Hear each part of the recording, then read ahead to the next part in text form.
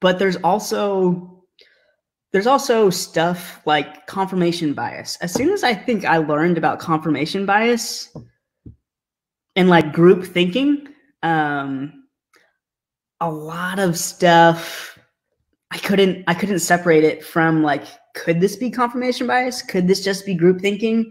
Um, wow.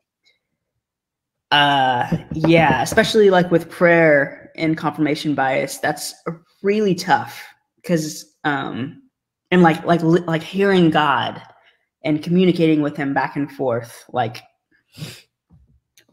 it.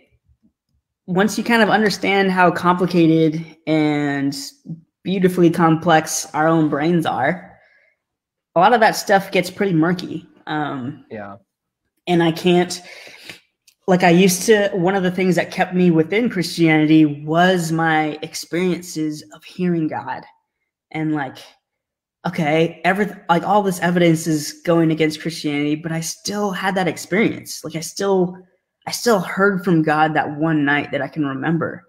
Um, and, and then that's kind of when psychology came into play and i'm like could that could god have been just a deep part of me that loved me and accepted me and i think yeah.